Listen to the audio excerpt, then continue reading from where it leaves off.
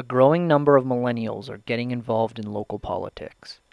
Three such individuals talked with the Daily Item about why they got involved and advice for others looking to do the same. Uh, well, I got on borough council right after college with uh, my college roommate at the time, who's also from here. And it was more just there was two open council seats and had just some curiosity. So it was really more by chance that I initially got involved. When I came to vote for the presidential election at the voting at the polls, I ran into people there from town, some residents, and they they all asked, "Would you think it would be cool if you ran for mayor?"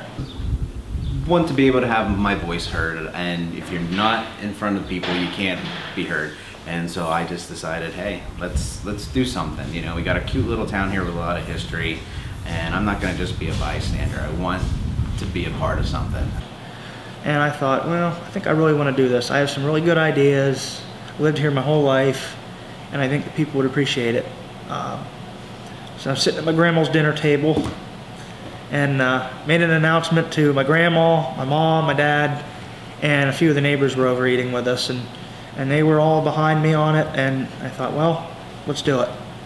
I went for it. I, you know, knew I'd be driven to really make a difference and not just be happy with the status quo. And you know, four years later, I feel like we've made some significant progress on things. Say is um, get out there and meet people um, talk to other local politicians, you know, because they're going to be your best friend if you need grants or if you need political support, political backing for anything you want to do in your community. Um, that would be a big tip. Get out, get in front of somebody, talk to somebody. I mean, join local groups, network, anything. Join, uh, you know, the uh, the Commerce, Chamber of Commerce, anything. Any little thing can help like I said, I'm very new to it, and I'm I'm just getting started. I would say more than anything, though, just be confident in yourself. Um, if you're confident in yourself, no matter if you're in politics or whatever you do in life, I think that makes a huge difference. Get out there and meet people in your town and know what's happening and know what's going on.